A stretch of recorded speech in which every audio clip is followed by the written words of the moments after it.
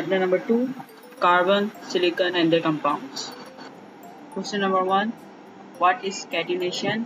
Give chief uses of carbon. Catenation को define करना है और carbon के uses बताना है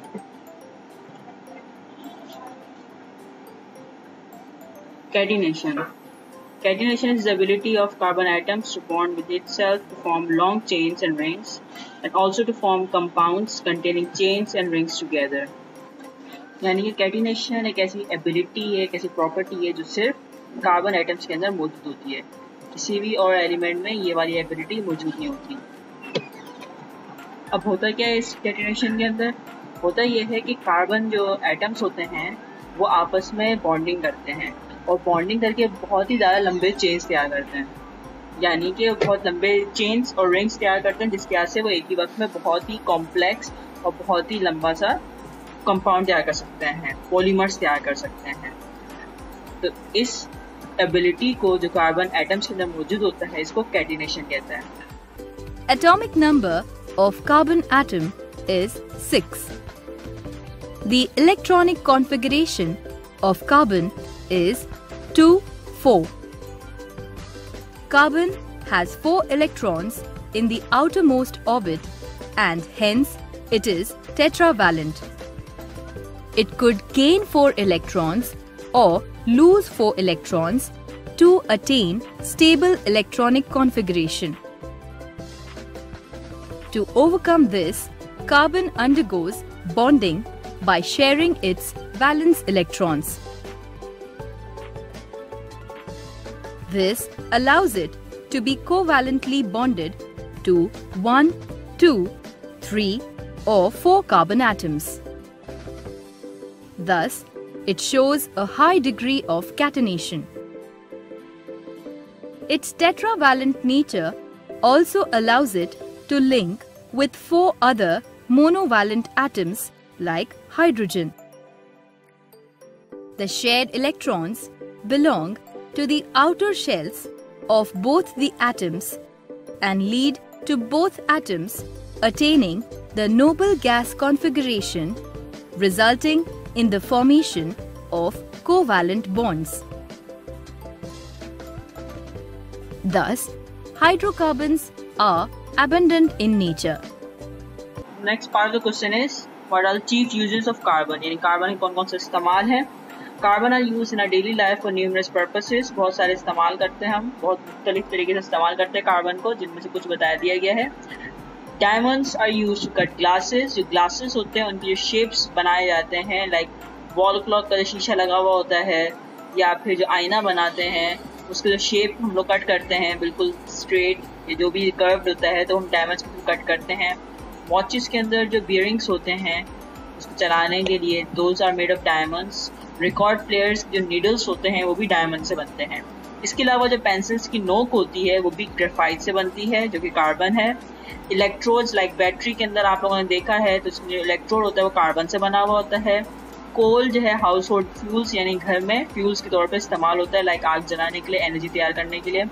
Coals is used to extract metals from their oxide ores यानी जो मेटल्स ऑक्सीजन के साथ रिएक्ट करते हैं तो उसमें से ऑक्सीजन को निकालने में कोल का इस्तेमाल होता है। So these are the chief uses of carbon all तो बहुत सारे हैं but we have only listed seven of them next question is define allotropy यानी एलोट्रोपी की डेफिनेशन बतानी है। And discuss chief allotropic forms of carbon The existence of two or more different forms of an element in the same state is called allotropy. यानी कि जब कोई element physically तौर पे डिफरेंट फॉर्म्स में अवेलेबल हो those different forms are known as allotropy next part of the question is discuss chief allotropic forms of carbon यानी carbon के जो इलेक्ट्रोपिक फॉर्म्स हैं, वो हमें बताना है। Now the allotropic forms of carbon में हमारे पास दो चीज़ आ जाती है, एक क्रिस्टलाइन में आ जाती है और एक अमोर्फस में आती है।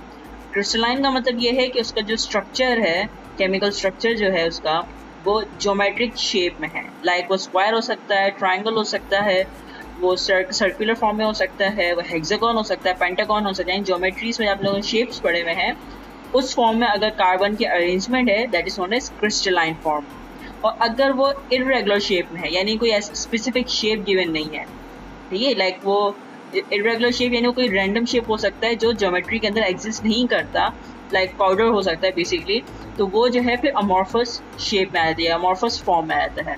क्रिस्टलाइन में we have three allotropic forms diamond graphite and bucky balls और अमॉर्फस में we have three coal charcoal and coke so total allotropic forms are six crystalline में थ्री आ जाते हैं diamond graphite and bucky balls amorphous में three आ जाते हैं coal charcoal and coal allotropic forms of carbon are found in crystalline and amorphous form crystalline में number one type है हमारे पास diamond in diamond each atom of carbon in the crystal unit is surrounded by four other carbon atoms joined by covalent bonds यानी diamond के अंदर जो carbon atom होता है, वो फोर carbons के साथ कोवलेंट बॉन्ड कर रहा होता है। यानी उसकी जितनी भी वैलेंसी होती है फोर की वो पूरी कंप्लीट कर रहा होता है।